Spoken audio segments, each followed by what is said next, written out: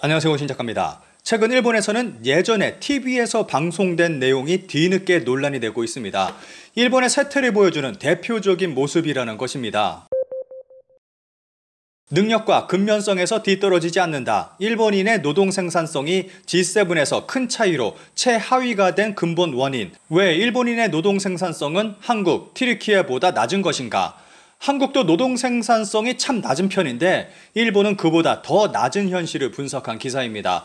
한국과의 GDP는 그 나라에서 만들어진 부가가치의 합계로 정의됩니다. 따라서 GDP를 취업자 수로 나누면 1인당 부가가치, 즉 1인당 노동 생산성을 살펴볼 수 있습니다. 보시는 그림은 OECD 국가 취업자 1인당 부가가치를 나타낸 표입니다. 일본 취업자 1인당 부가가치는 2022년 시점 85,329달러로 OECD 31위, 27위인 한국보다 낮은 수준입니다. 기사에서는 이런 현상이 일어나는 근본적인 이유로 조직별, 업계 간 최적화 축으로 보고 있습니다.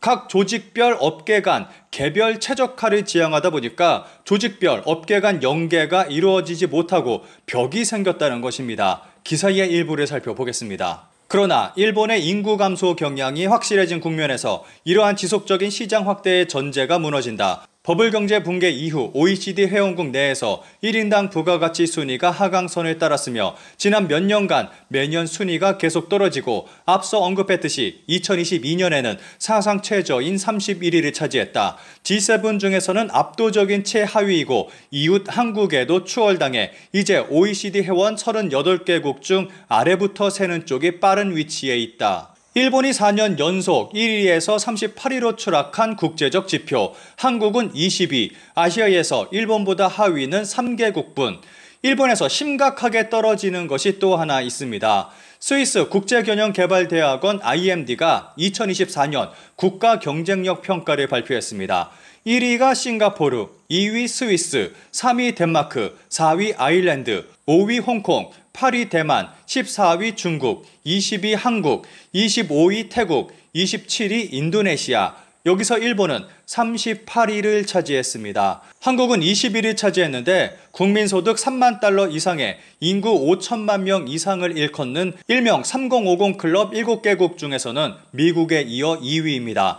그런데 일본은 사정이 좀 다릅니다. 일본은 2024년 38위를 차지했고 3년 연속 사상 최저를 기록하고 있습니다. 일본은 1989년부터 1992년까지 세계 1위를 기록했습니다. 그러던 것이 이후 순위가 점점 지속해서 내려가고 있는 것입니다. 현재 아시아에서 일본보다 밑에 있는 국가는 인도, 필리핀, 몽골 3개국 뿐입니다. 일본이 낮게 평가받는 부분은 42위를 기록한 정부 효율성, 51위인 비즈니스 효율성을 들 수 있습니다. 한마디로 정부와 민간 기업 모두 효율성이 매우 낮다는 것입니다. 여기서 가장 심각한 것이 있습니다. 기사의 일부를 살펴보겠습니다. 국제적 경험에서는 말 그대로 세계 최저, 일본이 특히 낮은 것은 국제적 경험 세계 64위, 시니어 매니저의 능력 세계 62위, 어학 능력 세계 60이다. 국제적 경험으로는 말 그대로 세계 최저다. 국제 경험에서 일본인에게 문제가 있다는 것은 그동안 자주 지적되어 온 일이지만 이처럼 세계 최저라는 숫자를 보게 되면 다시 한번 깜짝 놀란다. 그리고 이것이 비즈니스의 기민성 등에 영향을 주고 있다는 것은 의심의 여지가 없다. 즉, 세계가 크게 변하고 있는 것을 일본의 경영자는 피부로 느끼지 못하고 있고, 그러한 이유로 필요한 대응을 하지 못하고 있는 것이다. 일본이 IT 혁명, 세계적 수평 분업의 진전, 공장 없는 제조라는 큰 변화에 대응하지 못하는 것은 이러한 변화를 몸으로 직접적으로 느끼지 못했기 때문일 것이다. 일본의 여권 보유율은 2023년 기준 17%에 불과합니다. 이 수치는 계속해서 내려가고 있는 실정입니다. 그 결과 일본은 세계적 흐름을 따라가지 못하고 일본 안에서 그들만의 세상을 만들어가고 있습니다. 이 중 대표적인 것이 일본의 장인 정신이라고 생각합니다. 최근 일본에서는 예전 TV에서 방송된 내용이 뒤늦게 논란이 되고 있습니다. 생산성 낮은 일본의 세트를 보여주는 대표적인 모습이라는 것입니다. 10년 수업을 받지 않으면 손님 앞에서 템뿌라를 튀길 수 없다. 일본 튀김 장인이 제자에게 엄격한 교육을 하고 있습니다. 제자는 그렇게 보고 배우기를 10년, 재료를 본 순간 어떻게 튀겨야 할지 판단할 수 있을 때까지 10년 걸린다며 10년이 걸려도 못한다면 이 제자는 포기하는 것이 좋다고 말합니다. 화면 우측 상단에 보면 제자는 10년을 배워 이제 40살이 됐습니다. 이 사람은 미슐랭 투스타를 12년 동안 받은 일본 튀김 장인으로 제자에게 튀김은 결코 쉽지 않다며 방법을 바로 알려주지 않고 10년간 보고 배우라고 TV 방송을 통해 말하고 있습니다. 이렇게 고집 세던 장인이 최근 유튜브를 통해서 자신의 모든 기술을 공개하고 있습니다. 영상을 통해서 모든 것을 다 배울 수는 없겠지만 직접 배우는 10년보다는 빠를 것입니다.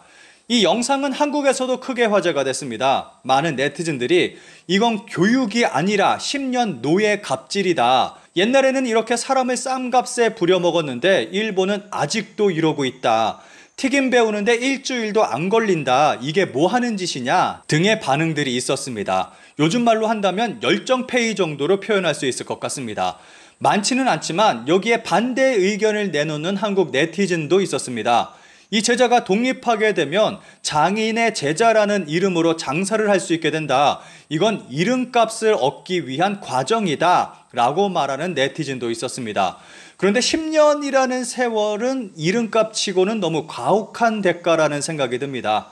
최근 이 방송 내용이 일본에서 크게 논란이 되고 있습니다. 일본의 낮은 생산성이 응축된 영상으로 꼽힌 템프라 가게에서의 10년 수행, 오히려 현대에는 이런 자신의 힘으로 보고 기억하는 기술이 쇠퇴하고 있는 것은 아닐까. 인터넷 커뮤니티에 일본의 낮은 생산성이 응축된 영상이라는 제목으로 이 영상이 올라와 퍼지면서 크게 논란이 되고 있습니다. 일본 내에서도 10년이나 부려먹는 건 일본의 낮은 생산성을 보여주는 대표적인 모습이다. 그러고는 자신의 기술을 유튜브에 공개하고 있다. 답이 없는 상황이다. 등의 반응을 보이고 있습니다. 반면에 생산성만이 중요한 것이 아니다. 다른 곳에 더 중요한 가치가 있다. 라고 말하는 네티즌도 있습니다. 뭐든지 생산성 운운하는 게 세상을 더 망친다고 생각하지 않아? 튀김을 튀기기 위한 10년의 수행이 아니라 사람 됨의 수행이기도 하다. 손님이 먹을 타이밍과 튀김을 내는 타이밍, 몇만 엔을 내도 먹고 싶은 가게는 모든 게 다 완벽하다고 센스가 없는 사람은 10년이 지나도록 체득하지 못하는 사람도 있고 미슐랭에 선정될 정도의 가게에서 10년 수행하면 그 이름값만으로 가게를 낼 수 있고 어설프게 여기저기 수행하거나 이상하게 독자성으로 고민하는 것보다 훨씬 현실적으로 오히려 가성비가 높다. 생산성이라든가 전혀 의미가 없는 이야기. 튀김은 눈으로 보고 귀로 듣고 튀기는 음식. 그날의 기온이나 습도, 재료의 상태에 따라 기름의 온도, 튀김옷의 수분량을 정함으로 튀김은 모두 같은 수준을 유지한다. 그것이 프로이며 손님이 대가를 지불하기에 합당한 모습이다. 효율만 최고인 밥이라면 편의점 밥을 먹어라. 프랑스 요리나 이탈리아 요리에서도 외국에 수행하러 간 사람의 이야기를 들으면 능동적으로 스스로 기술을 습득하는 스타일로 특별히 가르쳐 주지는 않는다고 하고 박봉이나 무급이었다고도 한다. 체계적 교육을 바란다면 체인점에 가길 바란다. 일본의 이러한 모습 여러분은 어떻게 생각하시나요?